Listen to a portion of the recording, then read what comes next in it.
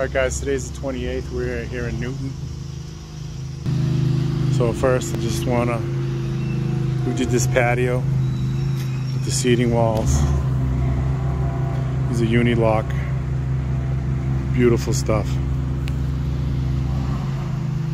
And then uh, we did these cobbles here.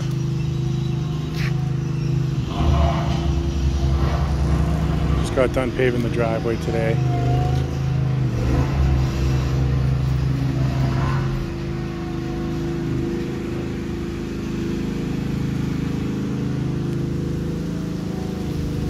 Big driveway.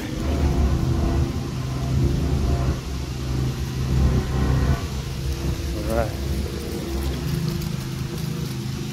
It's a nice job. It Took a while to get all the stones and everything, but we did it.